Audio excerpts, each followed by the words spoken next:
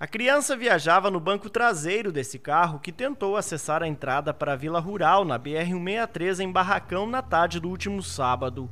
O carro foi atingido na traseira por um caminhão e todos os ocupantes sofreram ferimentos.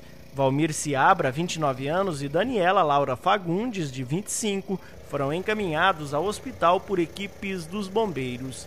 A criança também chegou a ser socorrida, mas morreu ao dar entrada no hospital.